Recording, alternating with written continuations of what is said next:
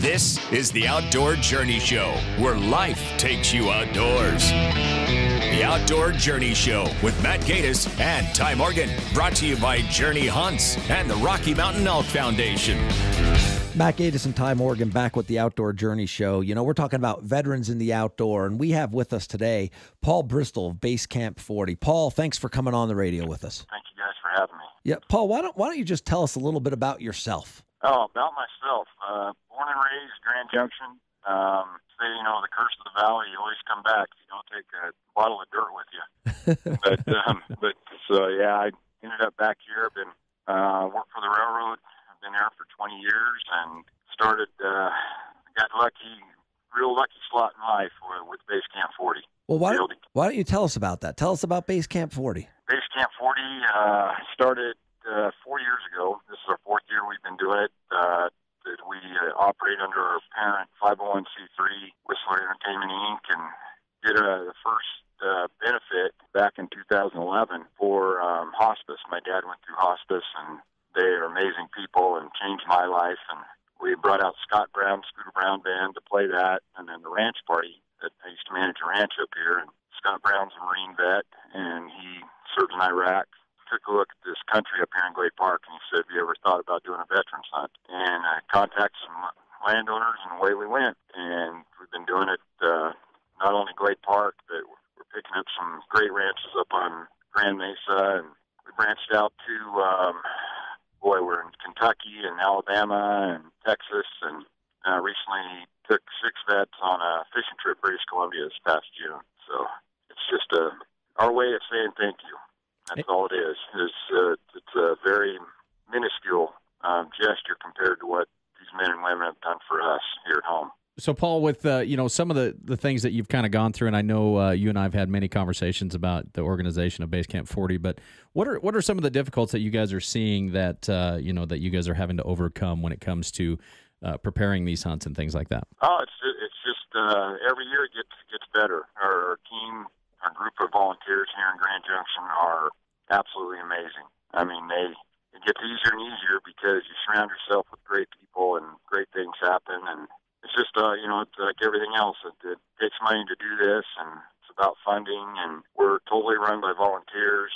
Our board of directors all agreed that there will never be any salaries paid. So it truly that's when I that's why I started Whistler Entertainment Inc. is to give back. And the better we do, you know, there's no reason to change that mission. And kind of retain that true sense of, of giving back. And it takes a lot of time, but like I said, you surround yourself with great people, and it's just an honor to be out here traipsing around the woods with these guys and guys and, and, and women. I had our first uh, female hunter last year, and I'm just very fortunate, very very lucky to be in that slot. Absolutely. You know, the outdoor industry is doing a better job of really giving back to our veterans after they've given so much, you know, to our country and their service. Um, why, why don't you share with us maybe a story of success that you've had there with one of the veterans? Oh, it's uh, probably one that comes to mind is uh, in 2012 when Chris Kyle was here with us.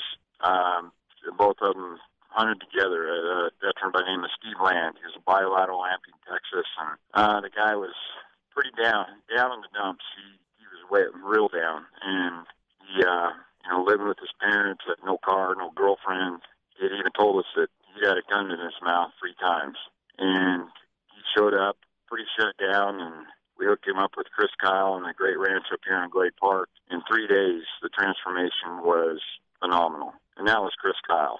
That was the effect he had on people. And now Steve, uh, we took him on our fishing trip, and now he wants to do volunteer work for Base Camp 40, and he's uh, he's rolling. He's back back in it, and I know he he got hit pretty hard when when Chris was killed in Texas because Chris took him under his wing, was uh, teach him to be a long range shooting instructor, and he had called me up. He said, "Man, I'm back under I'm back under the trigger, and so I'm back where I need to be." And but he's come a long way, and that's it. That was Chris Kyle. I mean, all the way. And you know, we we don't don't have answers. We tell these guys, hey, we open the door to the the wilderness, and what you get out of it is between you and God, Mother Nature. And if you don't get anything out of it, that's okay.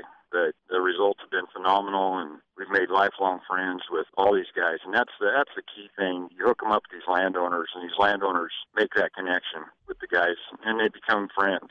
And it's just that it's it's pretty special to watch.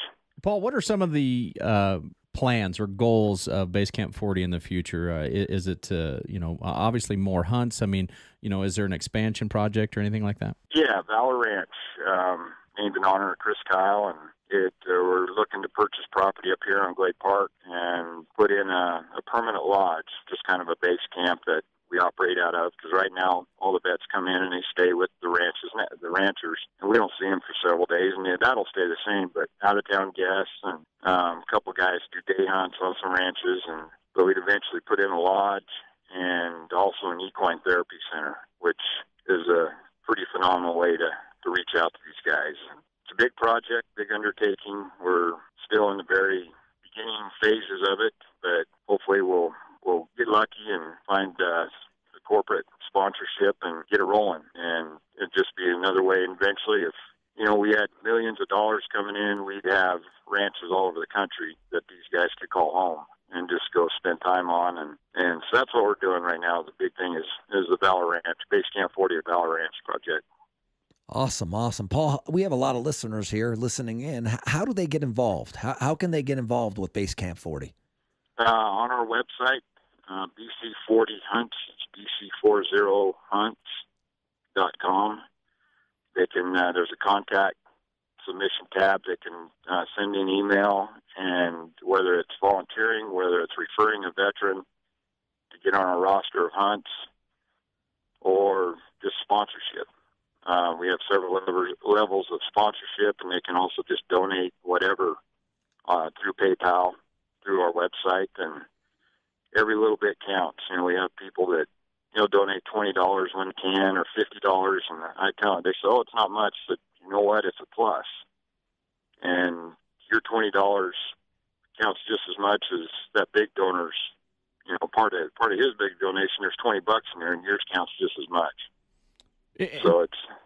And Paul, you're you're also open to, um, you know, if somebody wanted to donate a hunt, if they had some private land and things like oh, that. Oh yeah, uh, yeah, absolutely. That uh, landowners are a cornerstone of what we do because you know I compare it to building a race car. You know, I had the the initial design and through the help of volunteers and sponsors, we built this great car, and here it sits. Well, without the tracks to run that car on and these vets to drive, you know, we're, we're nowhere. And we've got some great, great landowners up here in Glade Park. You know, Warren Gore, Kermit Miller, um, Jensen's, Joe Fandrick, Terry Bedford. It's uh, they're some of the cornerstone David Anderson, and they just they, they're in it for the right reason. They're not in it for any publicity. They just they get it, and landowners are our cornerstone.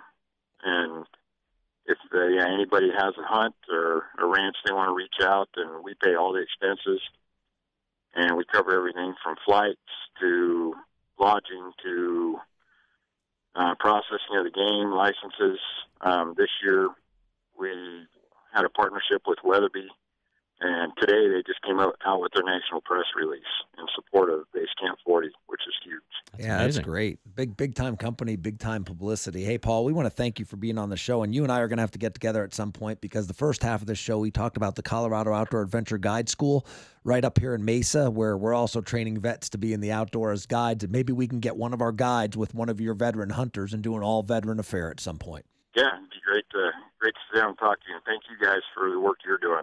Thank you very much, Paul. Because it, it takes a takes a, a huge community, you know, to to support these guys, and um, the the the support we've we've received here in town is is over the top, and we're branching out, and we welcome anybody who wants to donate time or or ranches or money or whatever, because uh, you get to see it firsthand when we have our main hunt here. You, you see these guys and pretty awesome.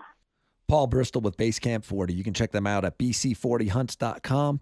Ty, when we go to the field, we take our Lakewood Products cases into the field because they protect our guns, they protect our bows like no other case. LakewoodProducts.com. Check them out. And this is the Outdoor Journey Show where life takes you outdoors. This is the Outdoor Journey Show, where life takes you outdoors.